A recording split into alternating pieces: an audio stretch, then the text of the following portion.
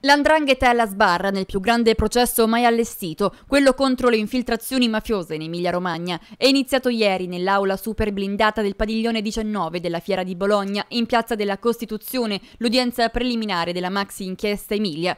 Presente anche il presidente della regione Stefano Bonaccini, che ha chiesto di costituirsi parte civile. Sono in tutto una trentina le richieste, in maggioranza sono enti o associazioni, mentre solo quattro per ora sono i privati cittadini che hanno chiesto di costituirsi in riferimento a capi di imputazione persone che li vedono come danneggiati.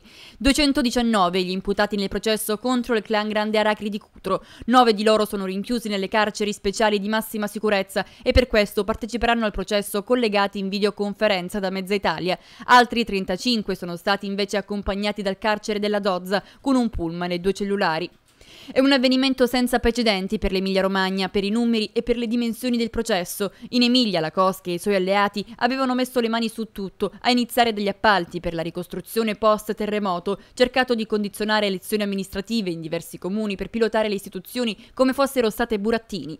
Dentro l'aula da 500 posti siedono i mamma santissima della Cosca Grande Aracri, ci sono i loro picciotti e i prestanome, i professionisti e i politici che con loro hanno fatto affari.